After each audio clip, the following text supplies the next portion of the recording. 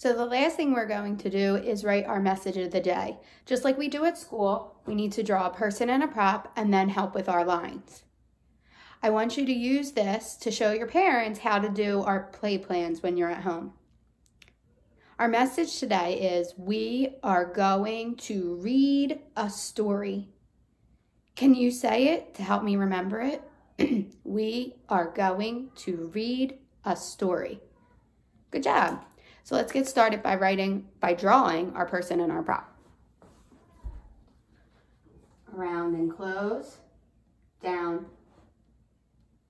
up to the right, up to the left, slant down, slant down, dot, dot, dot, around and up, up and around. Hair, and I'm going to draw my book since our message is we are going to read.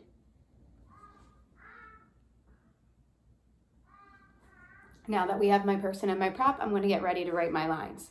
We are going to read a story. Here we go.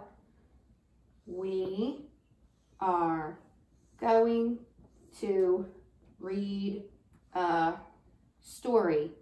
Story is a long line. Story. Period comes at the end.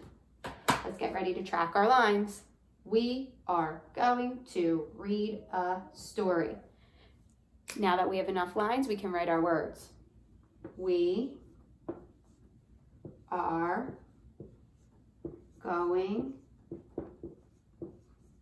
to read. What letter does read begin with?